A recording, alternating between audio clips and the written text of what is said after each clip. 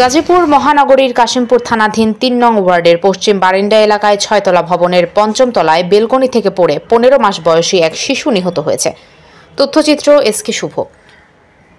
বুধবার পাঁচই জুন সকালের দিকে এই ঘটনাটি ঘটে। নিহত শিশুটির নাম বেনিয়ামিন। সাতক্ষীরা জেলার সদর থানাধীন সুলতানপুর গ্রামের মোহাম্মদ হাফিজুর রহমান এবং খাদিজাতুল কোবরার দুই সন্তানের মধ্যে ছোট সন্তান বেনিয়ামিন।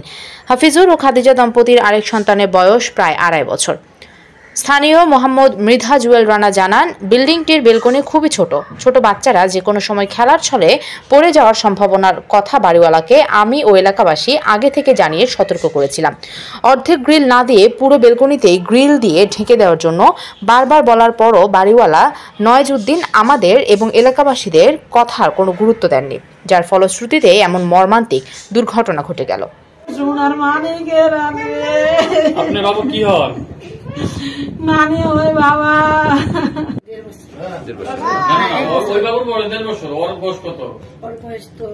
আমি শুনছি সাত-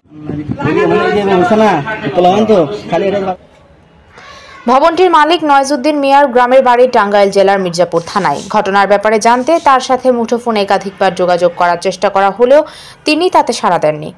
এ ব্যাপারে কাশিমপুর থানা পুলিশ জানায়, বেলকনি থেকে পড়ে আহত শিশুটিকে তাৎক্ষণিকভাবে জামগড়া নারী ও শিশু হাসপাতালে নেওয়া হলে কর্তব্যরত চিকিৎসক শিশুটিকে মৃত ঘোষণা করে। এ ব্যাপারে সন্তানের অভিভাবকদের সাথে কথা বলে পরবর্তী আইনি কার্যক্রম গ্রহণ করা হবে।